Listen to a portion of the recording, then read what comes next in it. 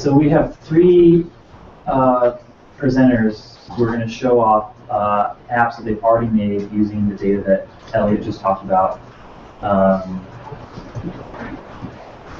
let's go with Viddy first.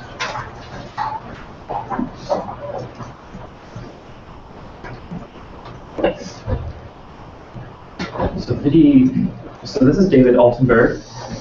Um, it's online right now. Hey, what's up? Okay. I don't know if the graphs look. Don't please don't all hit.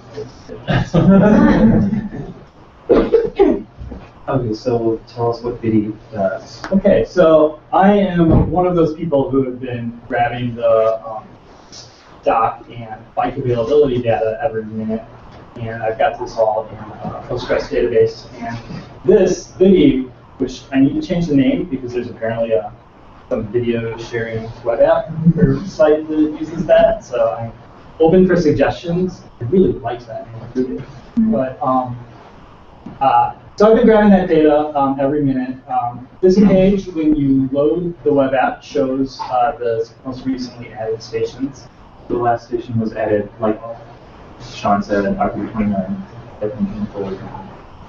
Um, and yeah, this was this was actually really fun to watch uh, in the last days of October when they were adding of stations pretty quickly.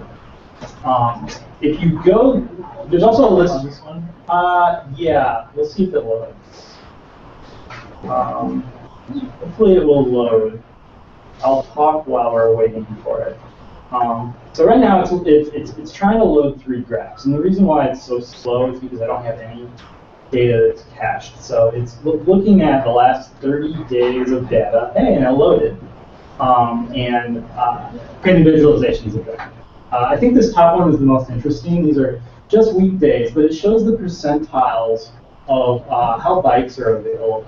And I actually created this because I have a coworker who started commuting by Divvy, and he was frustrated with finding the docks that are empty, and he wanted to figure out how early he would have to get up to make sure he'd be able to get a bike. Uh, so this darker line in the middle shows the median number of bikes that are available at various times of day. Uh, the is not great, but it starts out at midnight and goes until the next midnight. So um, this is at Lincoln and Fullerton, so it's in, so it's a residential one. So um, I'm actually a little surprised at this because normally what you expect to see is uh, a lot more dips, like around rush hours. People are picking up bikes uh, in order to commute to work, and I've seen a whole lot with that. Uh, but as you can see, like the median number of bikes changes. It sags a little in the morning, uh, presumably because of commuters, and it goes up a little in the evening.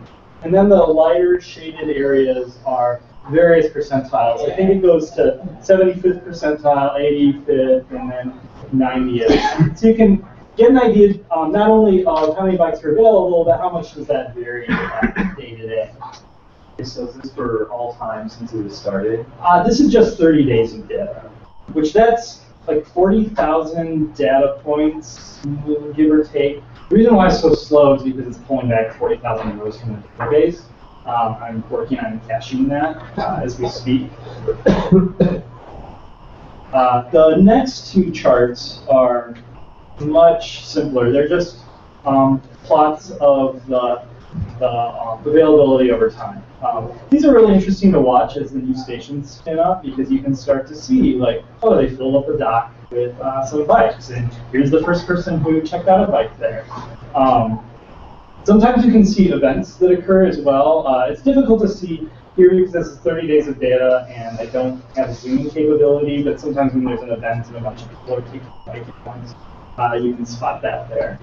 Um, available docks, as you would expect, is exactly the inverse of available bikes, um, except for those instances where they've added new um, uh, capacity to a station. You said your friend wanted to know about when to go outside to go grab bike. Correct. Kind of like a bus track when the bus comes. Exactly. So we should be at this time. So has he, has he or she started using them? Uh, no, because um, he liked biking enough that he just uh, but one one so I have a bunch, I have a pretty long to-do list for this. I need to change the name, I need to work on the performance. Um, um, obviously, uh, I'm excited about, well, I know you're probably gonna talk about this later, but I know you announced the usage data. Incorporating that, um, could be really interesting.